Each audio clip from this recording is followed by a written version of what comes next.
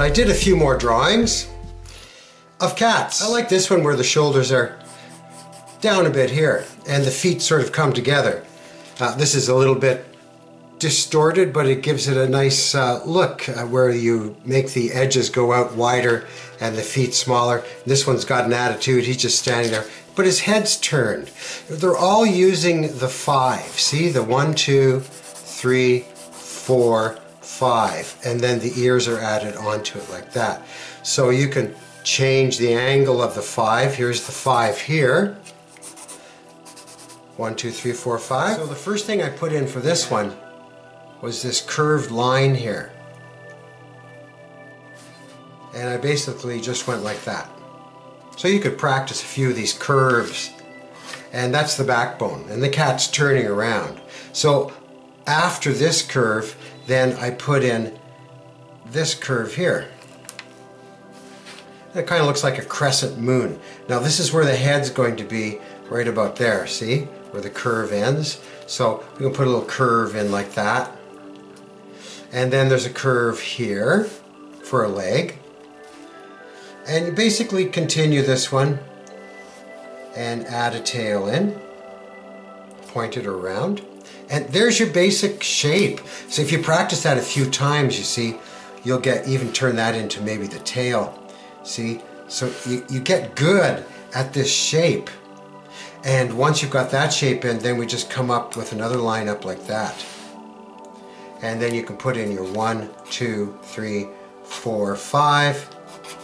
Put the ears in, and you got a real nice little picture of a cat turning around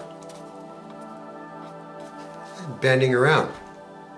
You put a little paw over here, maybe see what, maybe they've got a gonna lick his paw next. So this little shape here, uh, great one to draw, just like that. Come down there, follow with a line here, and this line. You'll have to practice it a few times. But basically, we've got uh, the first line is one, then this one, two, and then this one, three. And if you want, you can extend these two here for four. Then add the face, one, two, three, four, five, ears, and the little line here for the chest. Love this little drawing. This one here, the same thing. We have a, a line this way. Nice little line. And a curve. It almost looks like a, a bean. Think of the shape of a bean. You'll get this looking about right. So the bean shape. Then we have a leg here. And a leg here. I don't even put in the other part of the leg and maybe a little little rounder. It's more of a Siamese type cat, bigger ears. So neat. These cats are great. All you have to do is go online, look up cats, I don't know, Pinterest, whatever, wherever you're going to find them, and the long tail. You put some spots on. This is our basic one. Back one's a little bigger the one, two, three, four, five. And I've made the ears a little more 3D by adding tops to them. So all these cats come from that first cat that we practiced. The little boots there, see? And this one's in behind, underneath, and this one curves. And his little paws showing here because he's walking. You do the same thing on the back and add a tail. Whoa, look at that tail. Alley cat. So cats, cats, cats, once again, have some fun drawing them. And I'm going to do a quick painting of one right now. Water. I've got all my cats here. I don't want to redraw these cats, so I'm going to show you the quick way again. Every, a lot of you know how to do this.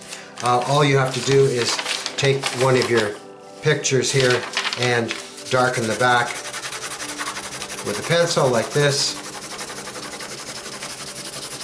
I'm using a 6B pencil because it will transfer really quickly.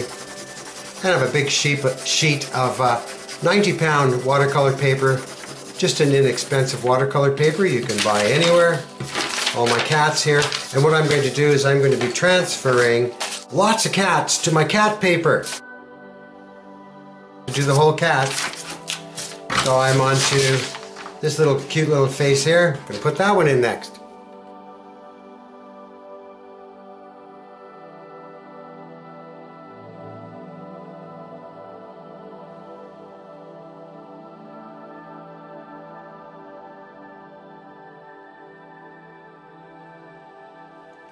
I think I'll put this big one right on top here.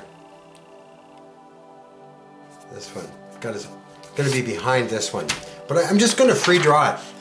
Uh, just to show you it's okay to draw over things. And there's his head. One, two, three, four, five. Now notice this is probably the 50 or 60 cats I've drawn and it gets easier the more you do it. So the more you draw these little guys, the better you're going to be at it. So there's his head, there's his body, there's the foot there. I'm going to add a little paw there, little paw there. And he's got attitude, this little guy. Now you can't see the other leg behind there, but that's okay. We're just going to put in two legs and a tail coming up like that. And there he is in behind all the other ones.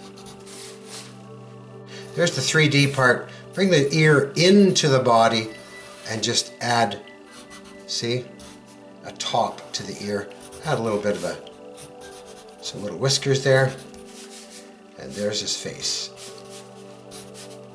And now I'm just going to throw some, put a line through the middle and throw some paint on this. Put some mountains maybe behind here. They create a little scene. Maybe they're down by the beach. This guy's been buried in the sand.